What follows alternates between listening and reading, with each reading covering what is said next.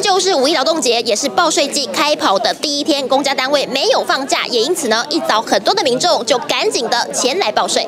工作人员一个接一个叫号，五月报税季登场。尽管今年同样有手机和网络报税，但台北国税局还是涌入大批民众实体报税，还有民众说等的有点久。很慢啊！你看申报的，我我还等二十几个人哦，怎么这样子？老人不会不会这些的。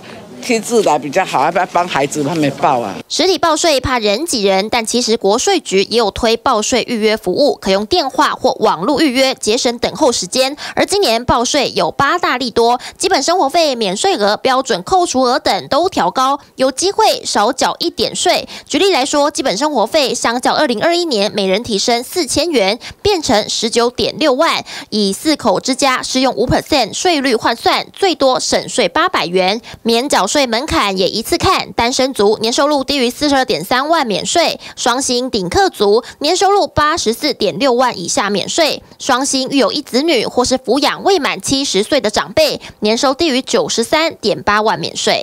当然没有很大的感觉啊，因为毕竟这是台北市，真收多了，然后你要再退税还税于民，对。那整个流程真的很繁琐。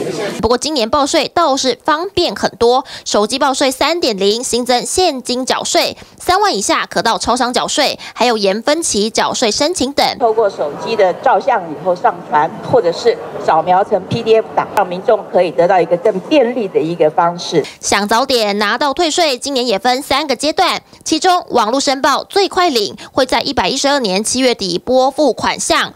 也能办理直播退税，让款项直接入账，民众免出门一趟，也比较省时。特别新闻，余翔张慧贤台报道。想看最完整的新闻内容，记得下载 TVBS 新闻网 APP。